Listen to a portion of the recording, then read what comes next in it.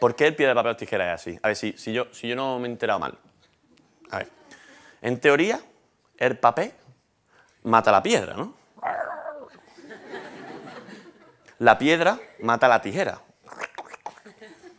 Y la tijera mata el papel. Ya digo yo, ¿por qué?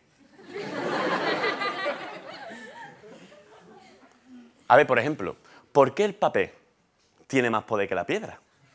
Porque quiere, que te diga, yo me tiré dos semanas en Marruecos y por mucho papel que tú tengas, si no tiene una buena piedra, me mono.